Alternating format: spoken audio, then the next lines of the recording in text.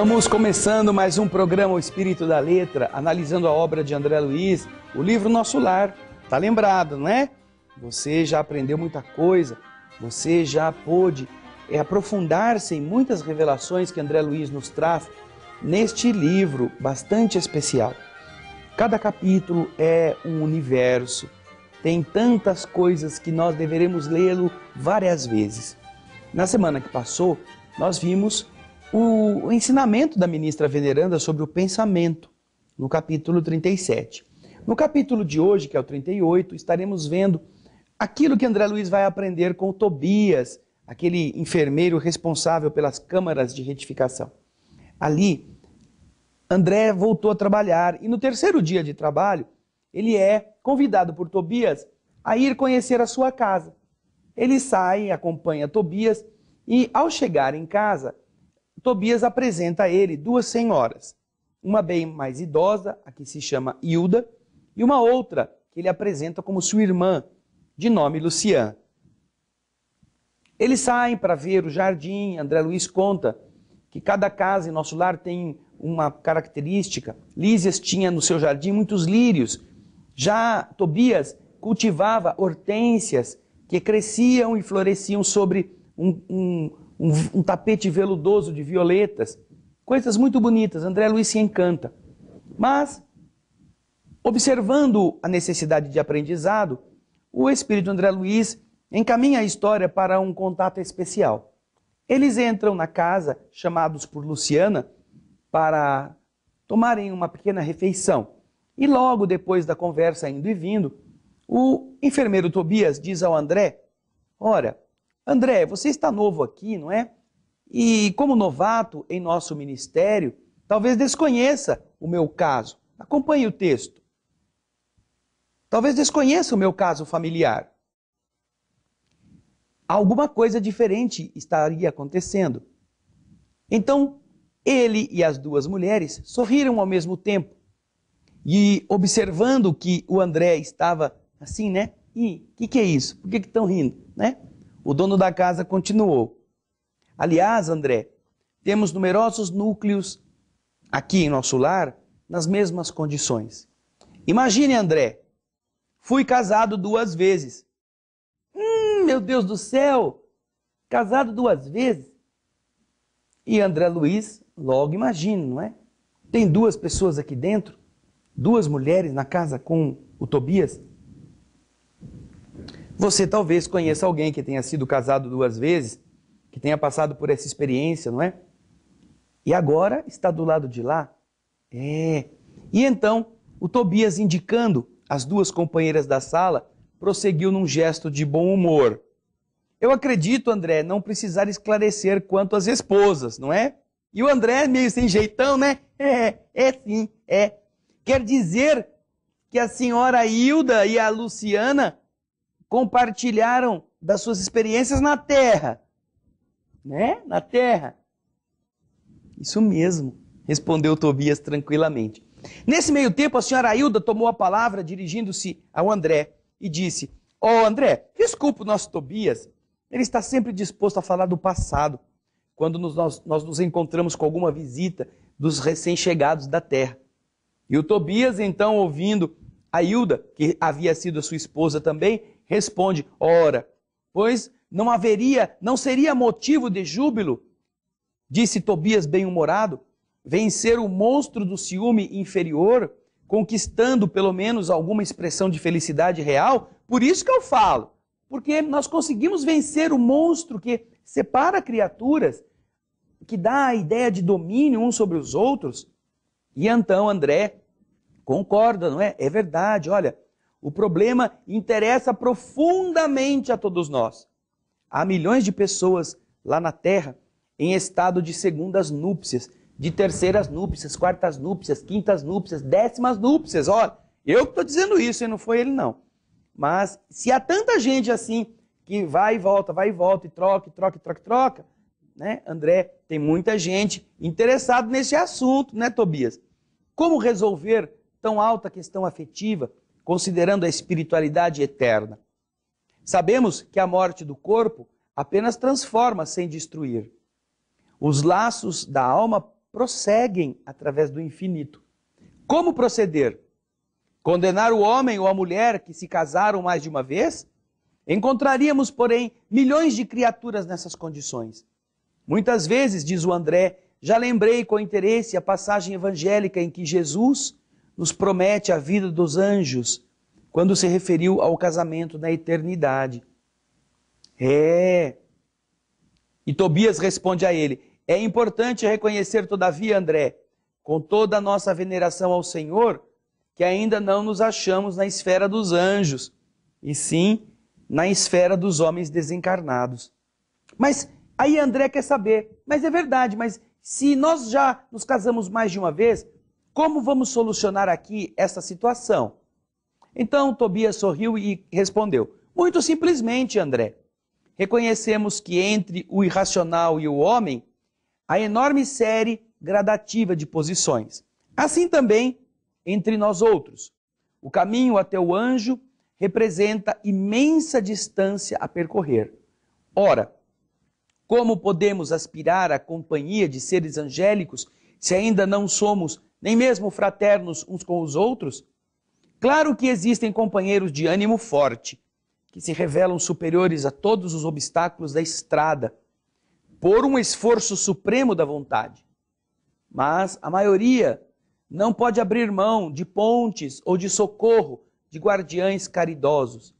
Em vista dessa verdade, os casos dessa natureza, de duplo casamento ou de uniões múltiplas, são resolvidos nos alicerces da fraternidade legítima reconhecendo-se que o verdadeiro casamento é de almas e essa união ninguém pode quebrantar.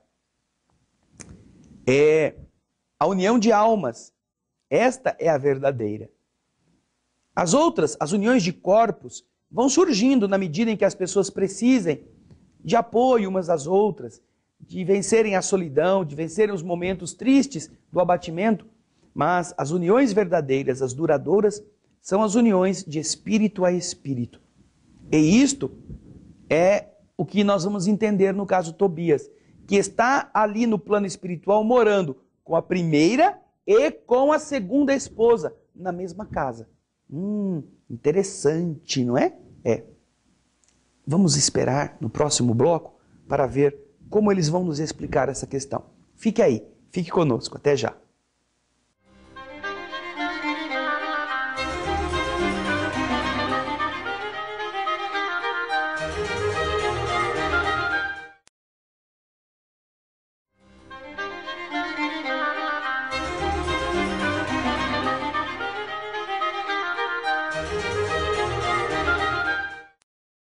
Estamos voltando com o estudo do livro Nosso Lar no programa O Espírito da Letra, capítulo por capítulo.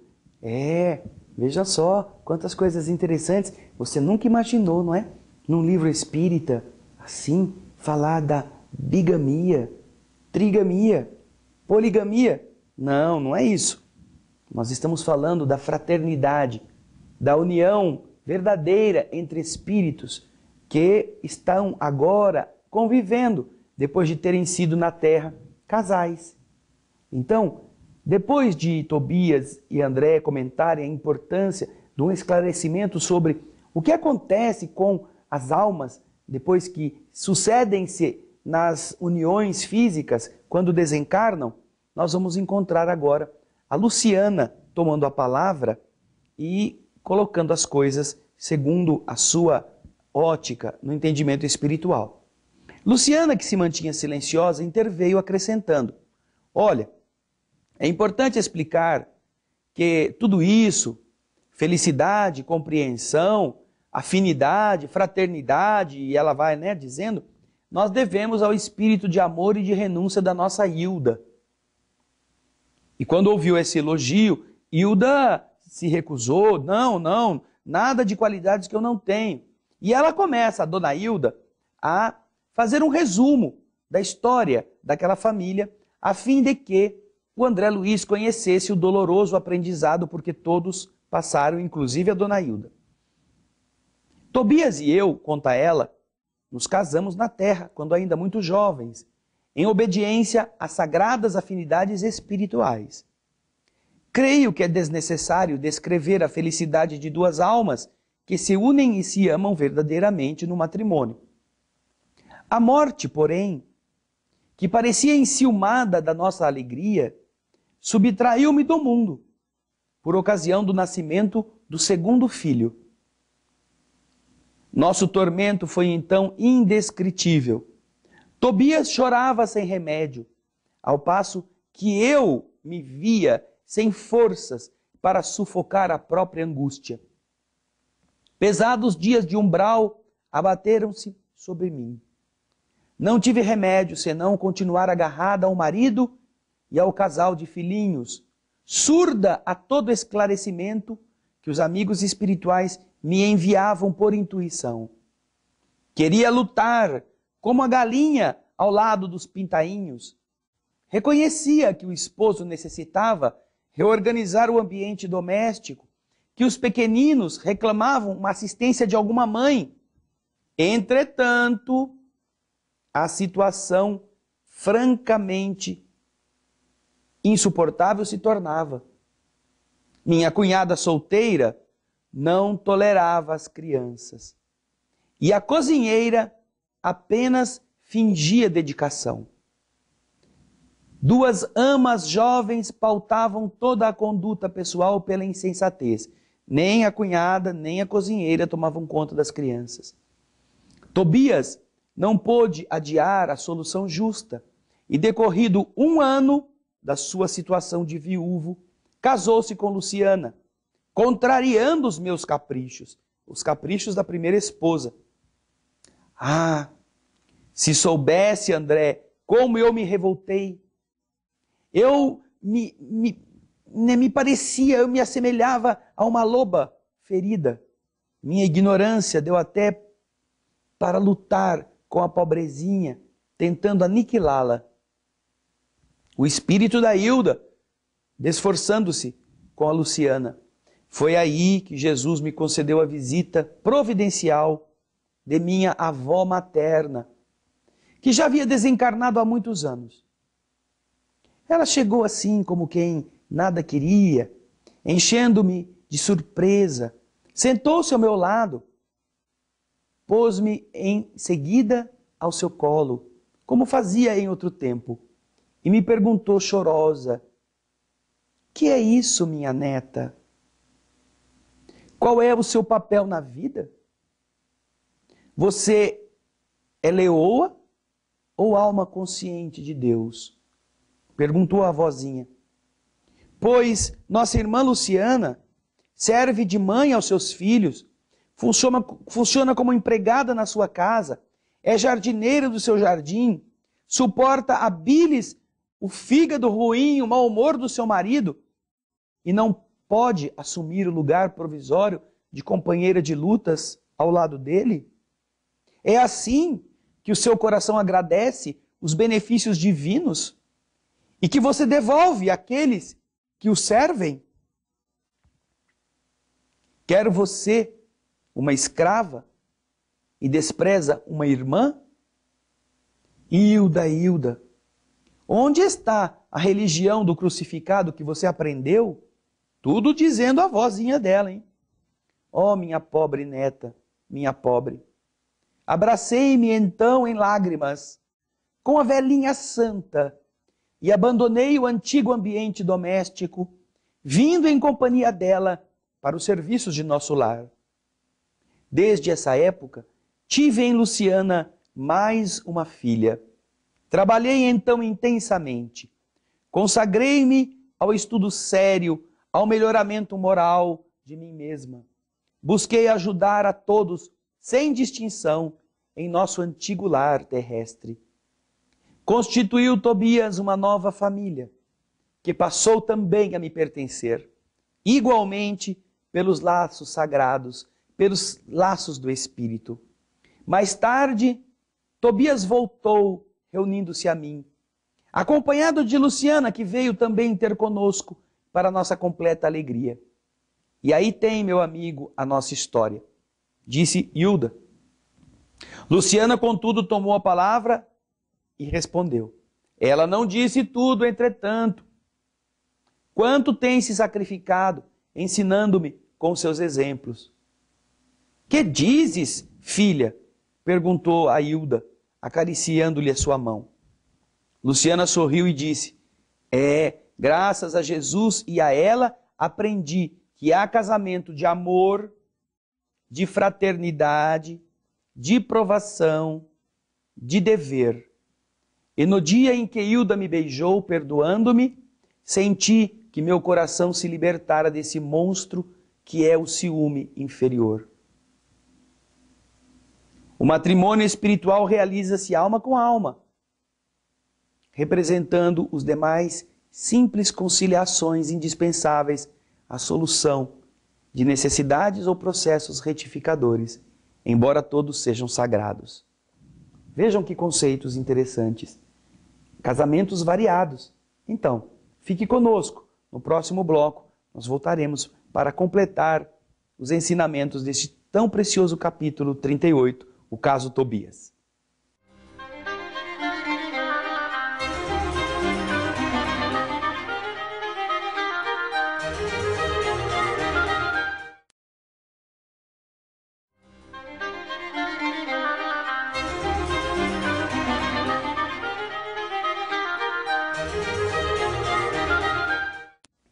Estamos de volta com o estudo do livro Nosso Lar, no capítulo 38, o caso Tobias.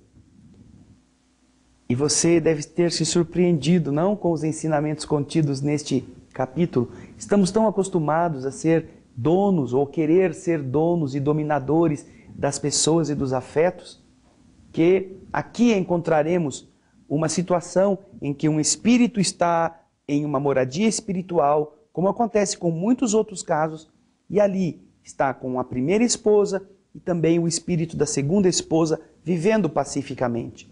E é o que Luciana já começou a nos explicar no bloco anterior. Veja o que ela disse. Ela aprendeu com Jesus e com a Hilda, a esposa anterior, a primeira esposa, que existem casamentos de amor, casamentos de fraternidade, casamentos de provação, casamentos de dever. E no dia em que Hilda me beijou, perdoando-me, Senti que meu coração se libertara desse monstro que é o ciúme inferior.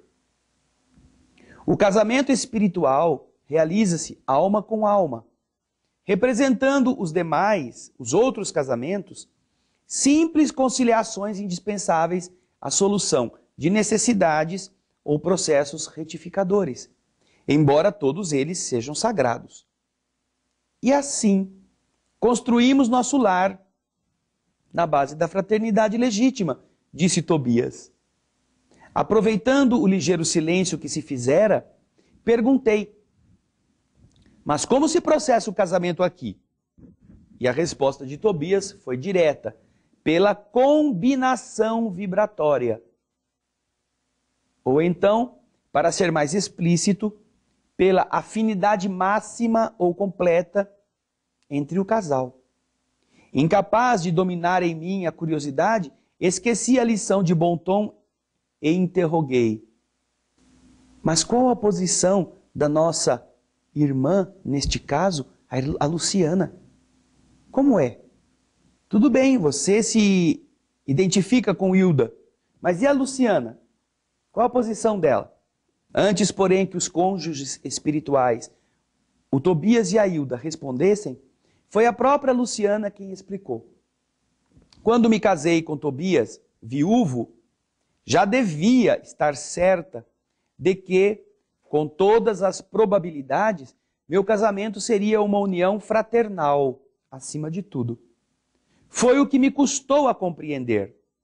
Aliás, é lógico que se os consortes padecem inquietação, desentendimento, tristeza, estão unidos fisicamente, mas não integrados no matrimônio espiritual. Olha só a medida para você identificar se a sua união, se o seu casamento, se o seu matrimônio é de almas ou é de corpos. Porque para que haja união de espíritos é preciso haver harmonia. E se ao contrário, como você viu no texto, há essas alterações bruscas a respeito da convivência, do desequilíbrio, não estando apenas é, dispostos a manter a elevação do espírito, porque estão desatentos em relação às coisas do mundo físico, estão desajustados, então esta é uma união mais material do que espiritual. André diz que queria perguntar mais alguma coisa. Entretanto, não encontrava palavras que revelassem ausência de impertinente indiscrição. É curioso, não é? Quer saber mais e como é que fica e não sei o quê, mas vocês estão se relacionando aqui afetivamente, vocês vivem juntos, como que é a troca afetiva entre vocês? André devia estar pensando tudo isso. Agora, a senhora Hilda, mais velha, mais experiente, compreendeu o pensamento que o André não externou e explicou. André, fique tranquilo. Luciana está em pleno noivado espiritual. Seu nobre companheiro de muitas etapas terrenas está há alguns anos à frente dela, regressou ao círculo carnal em uma nova encarnação. No ano próximo, ela, Luciana, vai reencarnar para ir igualmente ao seu encontro. Creio que o momento feliz será em São Paulo. Sorrimos todos alegremente. Neste instante, Tobias foi chamado à pressa para atender a um caso grave nas câmaras de retificação. Era preciso, desse modo, terminar a conversa e voltar ao trabalho.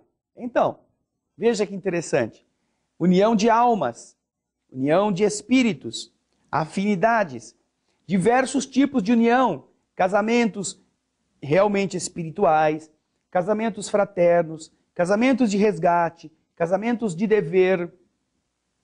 Tudo isto ensinado nessa conversa, mostrando que quando os espíritos amadurecem, eles passam a entender que não há disputas, que não há domínios de uns sobre os outros. E a própria Luciana, que estava na terra, naturalmente quando se casou, desejando ser a rainha daquele lar, precisou entender mais tarde que a afinidade que ela tinha com Tobias não era a mesma e profunda que Hilda e Tobias possuíam.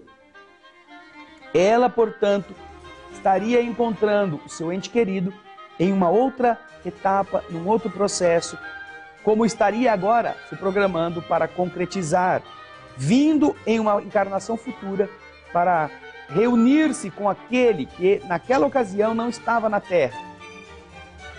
Por esse motivo é que ela encontrou-se com Tobias.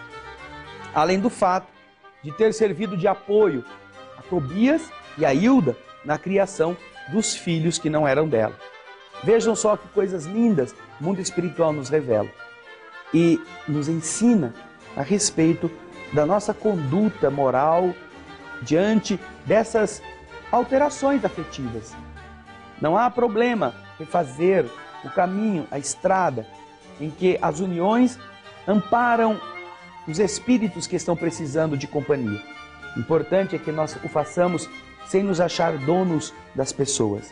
As pessoas não são propriedade nossa, tanto quanto nós não pertencemos aos outros. Somos todos filhos do Criador, precisando respeitar o afeto alheio precisando corresponder ao máximo e melhorando a relação afetiva dentro de casa, nós estaremos diminuindo o espinheiral que vamos enfrentar quando desencarnamos. Mesmo que hoje você ache que não está com a pessoa certa, não a faça infeliz.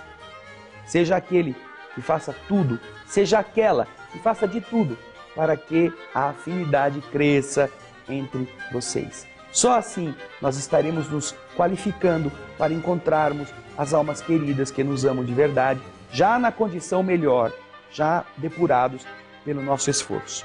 Obrigado pelo seu carinho, pela sua participação. O programa O Espírito da Letra se despede de você, convidando-o para o próximo programa, o próximo capítulo, que vai nos elucidar sobre muitas coisas a respeito do livro Nosso Lar. Obrigado pelos e-mails, obrigado pelos elogios, obrigado pelas visitas aos nossos sites. E esperamos por você na semana que vem. Um grande abraço e muita paz.